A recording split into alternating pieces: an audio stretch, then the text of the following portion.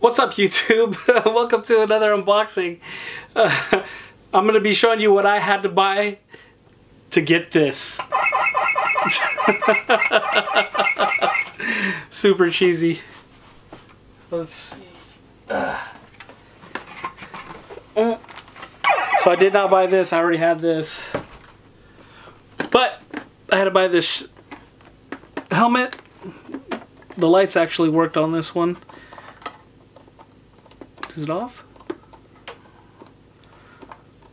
I don't know. Whatever. So get this he helmet off. It's kind of difficult. There we go. Got it. My head's kind of big. So think hard about that when you want to go and purchase this. The lights are off. And the lights are on. And the lights are off. They work. The first helmet I bought uh, back when this came out, uh, the the helmet didn't turn on. now uh, all the uh, helmets that they sell now come with a little sheet that shows how to fix that problem if you get uh, one that doesn't uh, work. You just take a little skinny screwdriver behind the metal and bend it forward. It shows a little picture if you do buy it. But the blaster I bought was the Proto Man one. So I got Proto Man. And let's go ahead and open it. If I last believe, the Mega Man Buster does not come with batteries, so this one should not either. But you never know.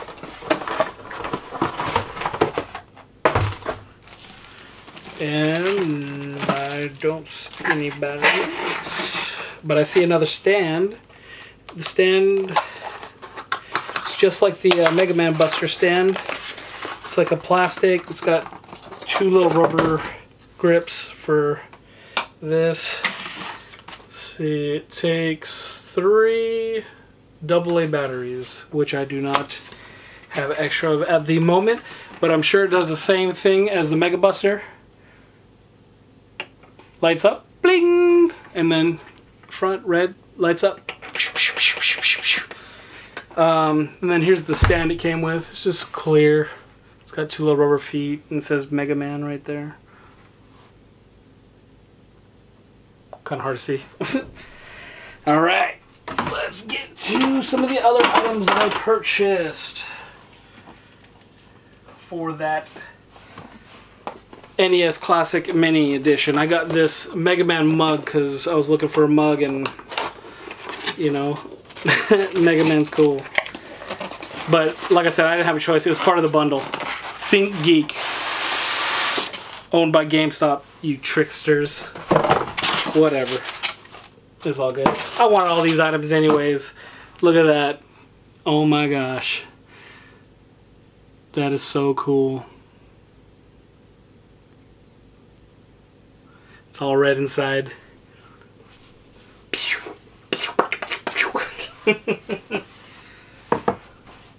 I had to buy all those items just to get this, the NES Classic Edition.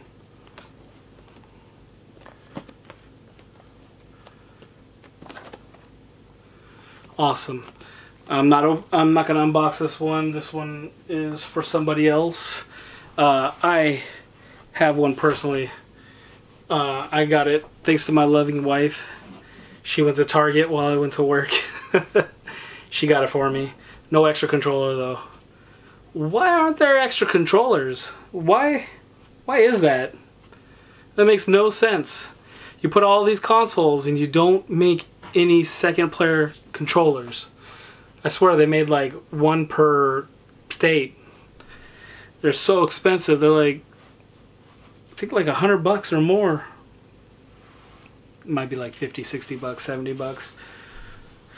But last I checked, I seen some going for like 120 or something like that. That's crazy.